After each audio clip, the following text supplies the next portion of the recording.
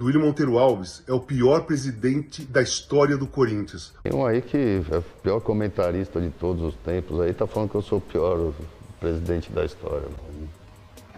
E aí galera, beleza? Bora dar uma olhada aí nessa treta, nessa polêmica entre o Duílio, presidente do Corinthians, e o Casagrande, né, que é ídolo do Corinthians aí como jogador. E o Casagrande tinha falado que o Duílio era o pior presidente do Corinthians, né? E o Duílio tá dando muita entrevista ultimamente, tentando explicar as baboseiras que ele tá fazendo no Corinthians, né? E ele acabou falando do Casagrande, né? Falando que o Casagrande é o pior comentarista e ninguém liga. Bora dar uma olhada como que foi essa treta entre eles, beleza, rapaziada? Então se você curtir, já se inscreva, deixa seu like e bora pro vídeo, rapaziada. O Duílio Monteiro Alves deu algumas entrevistas entrevistas hoje, falou, falou, falou e não explicou nada, porque não tem argumento, porque não tem explicação. É, se eu não fui claro ainda, é, na minha opinião, eu vou ser agora. Monteiro Alves é o pior presidente da história do Corinthians, o mais incompetente. E é isso que a torcida está percebendo. É isso que a torcida sabe e é isso que a torcida vê. Não tem historinha, não tem conto de fadas, não tem como enganar um trabalho que é incompetente. Então, Duílio, você é o pior presidente da história do Corinthians. E essa crítica aí do Casagrande veio muito por conta das entrevistas que o Duílio deu após a vitória do Corinthians é, de cumprir tabela para ir Sul-Americana contra o Liverpool, colocou a garotada, foi 3 a 0 né, e ele achou que tava tudo beleza, tudo resolvido, que o time melhorar, mas em sequência já agora contra o Bragantino, o Corinthians perdeu de 1 a 0 e pode entrar na zona de rebaixamento ainda hoje, então bora dar uma olhada como que foi a resposta do Duílio para o Casagrande, rapaziada. Te chamam de corrupto, de canalha, de ratazana, que nem as organizadas estão fazendo. Tem um aí que é, foi o pior, pior comentarista de todos os tempos, aí tá falando que eu sou o pior presidente da história. Pequenininho assim. Vai, vai, vai, eu vou tratar o desgosto dele, as decepções, é tudo com o outro. Não merece moral, isso aí tá. Ninguém sabe onde tá. É, só sai para falar mal do Corinthians, mas tudo bem.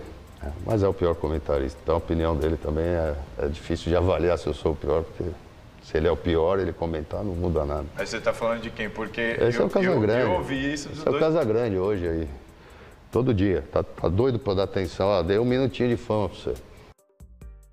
Um minutinho para o Casagrande. O Casão falou lá no UOL que o Duílio é o pior presidente da história do Corinthians, na opinião dele. Cara, o Duílio chega a ser bizarro dessas entrevistas, né, cara? Pior que ele tá me fazendo concordar com o Casagrande, cara. Ele tá se tornando o pior presidente do Corinthians. Porque o Capelanes mesmo bateu na telecount no terceiro tempo que o Neto sempre defende o Duílio dessas contratações, né? Que ele mandou 100 jogadores embora. Mas quem que contratou esses 100 jogadores? Foi o próprio Duílio quando dirigente de futebol. Ninguém fala isso, cara. Ninguém fala isso. E essas vendas que ele faz é muito suspeita. Por isso que a torcida chama de corrupto, achar chapa, renovação e transparência, porque há anos já que essas negociações estão ruins. A do Pedrinho foi só mais uma só, né? 9 milhões de euros para um jogador da base, assim, que é muito promissor. O próprio Cássio falou que é o melhor jogador da base do Corinthians, então é muito suspeita vender por pouco baixo esse valor. E tem até um, uma outra sacada aí que deixa mais suspeito ainda, que é sobre o conselho é, financeiro do Corinthians, né? Porque se passar de uma meta, o conselho tem que avaliar quanto que foi. E geralmente nenhuma venda passou dessa meta. É meio suspeito por ser um jogador da base e promissor, né? Poderia ter passado, mas não passou. Então a torcida fica duvidando, né? E o Casagrande, que é comentarista, aí falou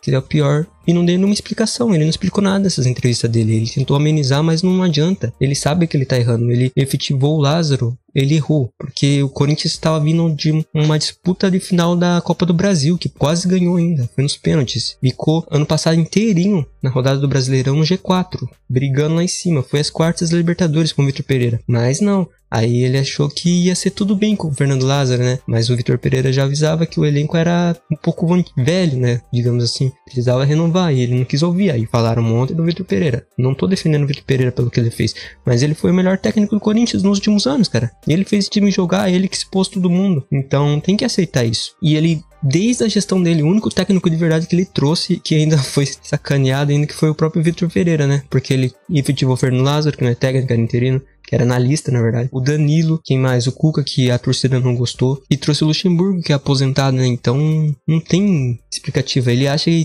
dei minutinho de fama pro Casagrande. O Casagrande tem história no Corinthians, do ele não tem, cara. Então, isso que a torcida ficou irritada com ele, beleza? Então, comentei que você achou, rapaziada, dessa polêmica, dessa treta. Provavelmente o advogado do Duílio, o Neto, vai responder e eu vou tentar trazer pra vocês aí se bater likes, beleza? E o próprio Casagrande também vai responder. E eu vou tentar trazer pra expor bastante do Duílio, porque não é sacanagem que ele tá fazendo com isso, brigando pra não cair, ele ainda quer ficar dando entrevistinha polêmica polêmica, pra gerar mais intriga aí e causar mais é, risco de rebaixamento pro Corinthians. Então, é o que eu falei, rapaziada. Outra pergunta que eu vou deixar pra vocês aí. Se o Duílio tem hoje, abre a janela hoje de transferência, o Duílio tem hoje para decidir se ele quer ser rebaixado o Corinthians com o Luxemburgo ou se ele vai é, apostar num técnico que realmente tenha potencial para tirar o Corinthians dessa fase. Muitos falam do Martin Anselmo, que vai dar uma entrevista hoje para SPN, que é o técnico do Del Valle, que deu um tático no Vanderlei Luxemburgo. Estão cogitando esse nome, né? Mas eu vejo esse nome mais como um projeto, teria que ser no início de temporada. Tem o Kudê também, né? Que saiu do Atlético com bons números, mas não com uma boa relação com jogadores, que ele criticava bastante o elenco do, Galo. Então, mas eu ainda acho um bom técnico pro Corinthians. Mas é isso, rapaziada. Como é, qual sugestão você daria de técnico aí? Qual seria o técnico ideal pro Corinthians? E o que você acha dessa nova fase do Corinthians? Se vai brigar para cair ou se vai continuar aí é, meio de tabela em busca de uma Libertadores? Ou que você acha que vai fundar de vez, beleza? Comenta aí o que você achou, rapaziada. Deixa seu like, se inscreve no canal. Tamo junto, valeu e é galera. Até o próximo vídeo. Valeu, rapaziada.